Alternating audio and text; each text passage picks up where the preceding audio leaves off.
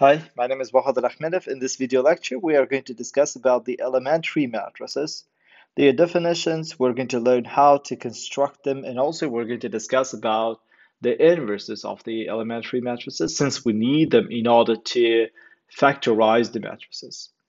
So if you remember previously, we talked about the three elementary row operations which we need to perform in order to bring the matrices to the row echelon form or to the reduced row echelon form.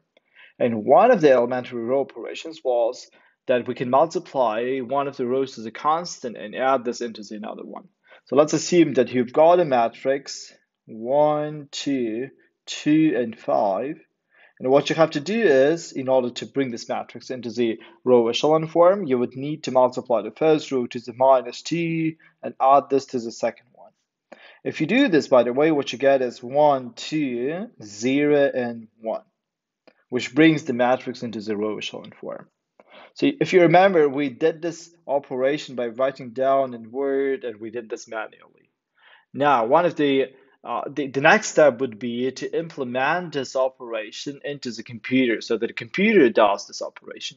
And, and we can't really tell to the computer by words how should how the computer should multiply the rows and add this to the second. And the idea would be to to make this in a, in an automatic way. So I and, and and the idea is to implement the matrix multiplication so that if I multiply the matrix A to that matrix, which I would like to figure out, I will get again the B. So essentially, so the 1, 2, 2, 5 should be multiplied to this matrix so that the result is going to be equal to the B matrix, 1, 2, 0, 1.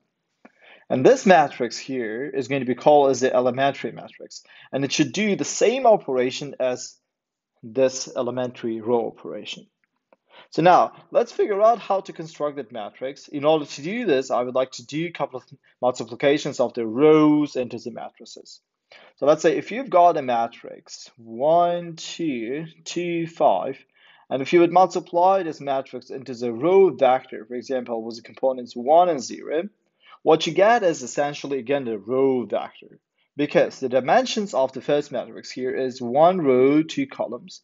Dimensions of this matrix is 2 by 2, and if you multiply them, you're going to get a matrix with the, with the 1 by 2 dimension. So 1 by 2 dimension. And we can multiply this row vector into the matrix in the following way. So essentially, I'm going to combine the two rows of this matrix with the two constants from this row. So essentially, the first constant here is going to be multiplied to this row, and the second constant here is going to be multiplied to the second row to here. So if you do the multiplication and add the items, so add the, add the rows, what we get is essentially 1, 2, plus 0 times to the 2 and 5, which is going to be equal to 1 and 2.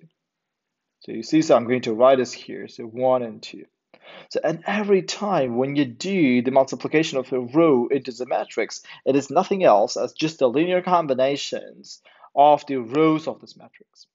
So now if I would just multiply this matrix 1, 2, 2, and 5 into another row, for example, with the components minus 2 and 1, what does it mean is that I'm going to multiply the first row of this matrix to the minus 2.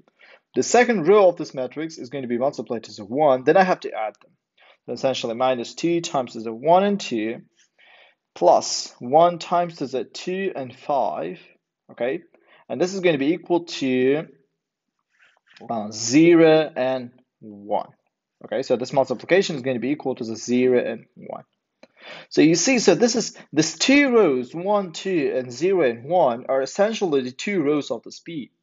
Okay, so what I have to do is I need to combine, I need to get these two rows in the same matrix. And it appears in order to do this, we need to just simply put this row and this row into this matrix. So I'm going to substitute here 1, 0, and minus 2 and 1. And this is going to perform me this operation. So multiplication of this matrix, this is A, is going to give me this B. And this matrix is going to be called as the elementary matrix. elementary matrix. Okay, so you see, so instead of writing down the elementary row operation, we are doing this by, by multiplying the matrix. So let's write down the definition of the elementary matrix. So the elementary matrix matrix should correspond should correspond to one of the elementary row operation to one to one of the elementary row operation. Okay, so instead of just writing down the elementary row operations, we are going to do them by just matrix multiplication. So I'm going to write it here. So elementary matrix, elementary matrix should correspond to one of the elementary row operations. Well, what else? Uh, so what kind of other row operations do you know? So another row operation here would be multiplying. Uh, oh, let, us talk about the inverse of this matrix.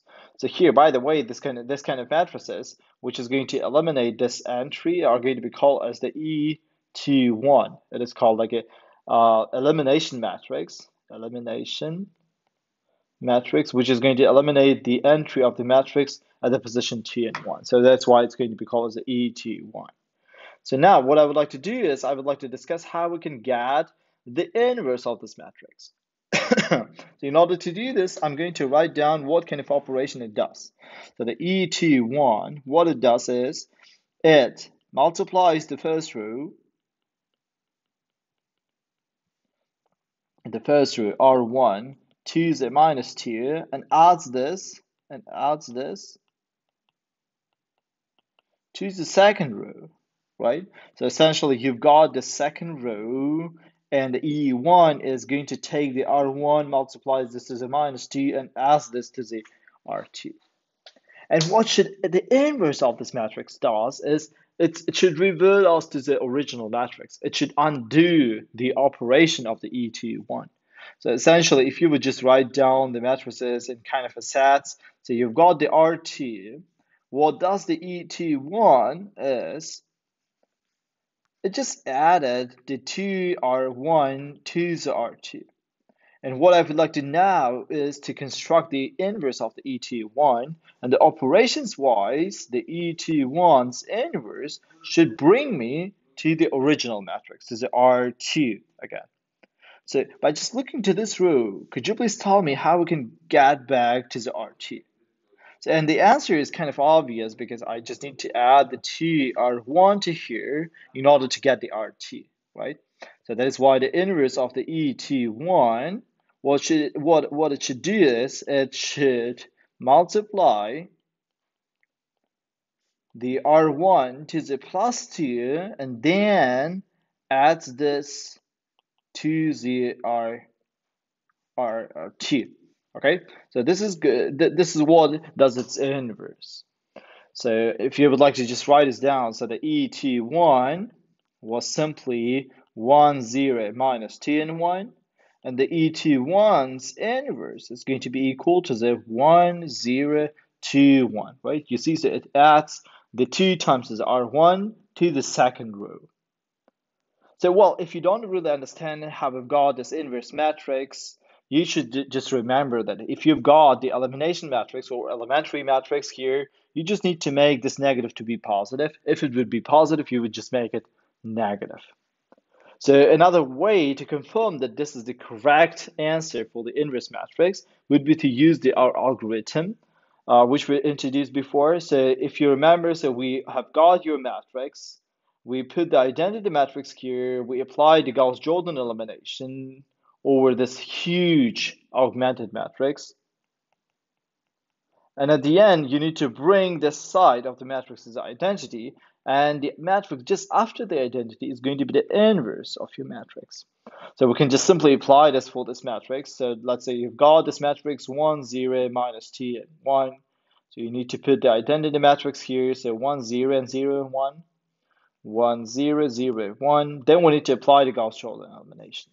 So essentially, I need to get rid of this minus 2. In order to do this, you need to multiply the first row to the 2 and add this to the second. If you do this for the whole matrix, what you get is essentially 1, 0, 1, 0, 0, 1, 2, 1. You see, so it became into this form. It means that this matrix here is the inverse of this matrix. So if we call this as an E2-1, then this is going to be E2-1's inverse. So this is how we're going to find the inverse of the elimination matrices. And one of the reasons why we're working or why we would like to construct the elementary matrices is that it's it's super easy to find the inverses. So let's uh, let's discuss now about the second elementary operation, which is just the multiplication of a root as a constant. Multiplication of a row to the constant. For example, if you've got a matrix with the entries 1, 2, 2, 4, or oh, let's make it T5. So what you can do is you can multiply the first row to the 2, right? So how, you, how we did this before by the elementary row operation. You wrote down the first row is going to be multiplied to the 2, and what you get is 2, 4, 2, 5, right? So now I would like to get the matrix, this matrix from this one. So I would like to get the B from the A, not by just doing this manually or writing down this by the sentences, but just matrix multiplication using the elementary matrix. Elementary matrix. And it appears the diagonal matrix does this operation. If you've got this matrix 1, 2, 2, 5, you have to multiply this to the diagonal matrix and we call the diagonal matrix a matrix whose entries below and above the diagonal are equal to zero. And on the diagonal, what you need to have here is the scaling constants. So here, if I put 2, it means that I'm going to multiply the first row to the 2. If I put here put 3, it means that I'm going to multiply the second row to the 3. But fortunately for us here, so what we have to do is we need to get the 1 here, so I'm going to put 1. So if you just multiply this matrix to this one, what you get is, oops. So what you get is essentially 2, 4, 2, 5. So the same matrix. So instead of writing down or instead of doing this operation by the row operation, we're doing this using the elementary matrices. So now, what, one more thing which we need to discuss about the elementary matrix, this diagonal matrix, which is going to scale the rows, right, correspondingly, is to discuss how we can get the inverse of this. And again, so if you've got the R1, what does the, the D, D matrix, so this D matrix, it just multiplies this to the 2, right? So let us write down the D matrix multiplies, multiplies the first row choose it too. Now, I would like to revert my original first row. I would like to come back to this. I would like to undo that operation. What kind of operation I need to do so that I will get the R1 from here? So exactly, we need to uh, so we need to exactly multiply this uh, so 2R1 to the 1 over 2 in order to get the R1, right? So the inverse of the D, it should multiply, multiply the first row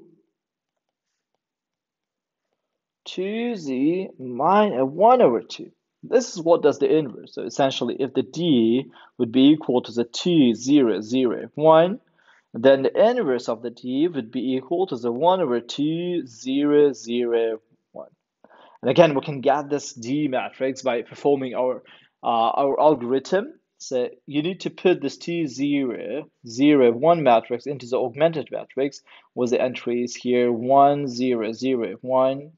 If you do the elementary row operation by just multiplying the first row, which is 1 over 2, what you get here is 1, 0, 0, 1, and here you're going to get 1 over 2, 0, 0, 1.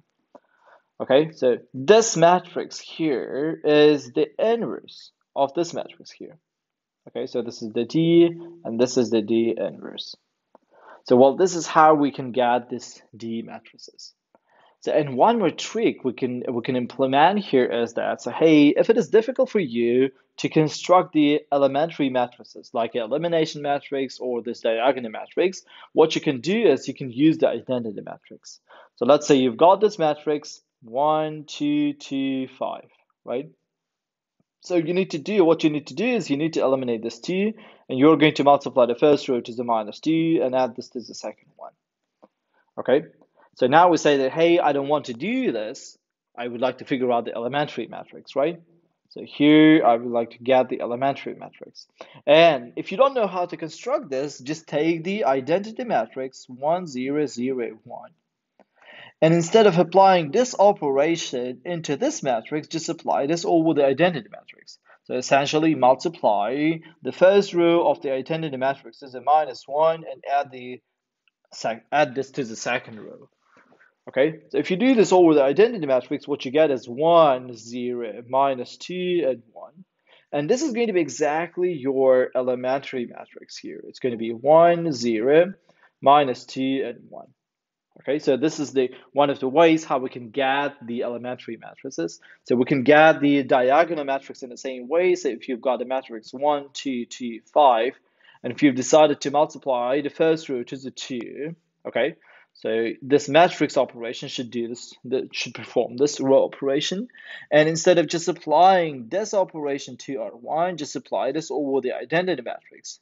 1, 0, 0, 1. If you do this, what you get is 2, 0, 0, 1. And this is just nothing else as your origin or as your elementary matrix. And the last elementary operation which we need to discuss is the interchanging the rows. So the third one is interchanging interchanging the rows.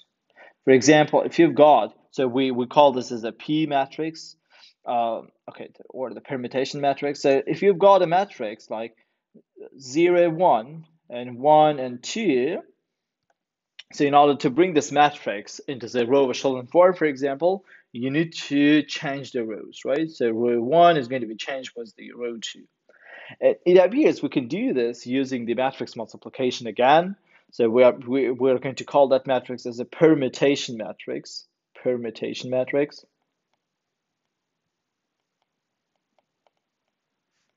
So if you've got this matrix 0 and 1, 1 and 2, you are going to multiply this to this permutation matrix so that the rows are going to be flipped. So it's going to be 1, 2, 0, 1. And the idea is going to be like this. So here in the first row, what you need to get is the second row of this matrix. So it means the first row should be multiplied to the zero and the second row should be multiplied to one, right? I'm going to simply put here zero and one. And on the second row, I'm going to put one and zero. And if you multiply this matrix, you're going to get exactly this one. And this blue matrix is going to be called as a permutation matrix. And you can again obtain this permutation matrix from the identity matrix by just splitting, by just like flipping the rows of the identity matrix, the first row and the second row of the identity matrix.